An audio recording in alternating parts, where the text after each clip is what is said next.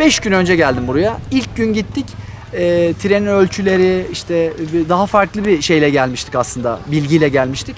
3.50 falan sanıyorduk biz trenin ölçüsünü, yüksekliğini. Tren 5 metre çıktı. Yerden yüksekliği. Rampayı büyütmek zorunda kaldık.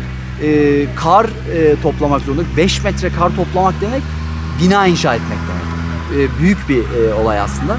E, netekim yaptık. E, inşa ettik. İnişi de çok güzel yaptık. Ee, sonra atlayışlara başladık. Çok korkunçtu. Hayatımda ilk defa o kadar yüksek rampaya girdim. Ama oldu. Ee, beklediğimizden daha güvenli geçti. Cable wakeboard'un wakeboard dediğimiz kablolu wakeboard yapıyorum. Onda da 2022 yılında Türkiye şampiyon oldum.